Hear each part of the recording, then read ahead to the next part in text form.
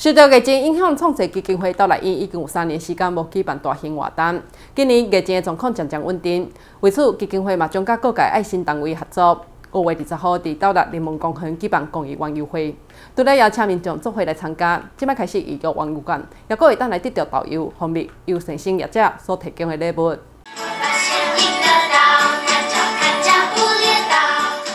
关心国小护士幼儿园合同，呈上一本泰国、韩国等各国的特色号证，带来高质舞蹈表演，邀请大家共同来参与，将伫五月二十号到了人文公园举办的公益玩游会活动。一摆玩游会也以异国美食为主，除了有着各种的特色美食，也有着趣味又够好耍的游戏。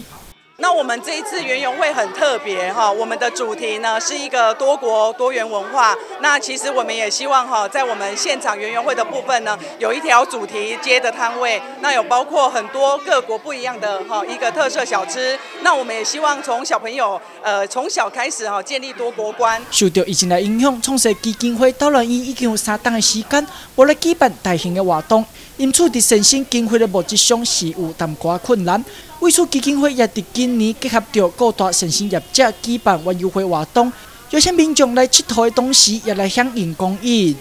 那也很感谢我们创世基金会我们的张院长，他对于植物人的不遗余力的照顾哈。那所以我们这样的企业有这机会，今年再继续为我们的创世基金会来办这样一个公益的远游会，那很开心。我们也有号召了很多的企业一起来努力。